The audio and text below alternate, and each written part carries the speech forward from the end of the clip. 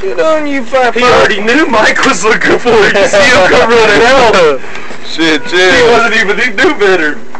Uh, Tank knows better, don't you, boy? Like, hell no, Michael actually hit me. Y'all teach you to behave, buddy. Believe that.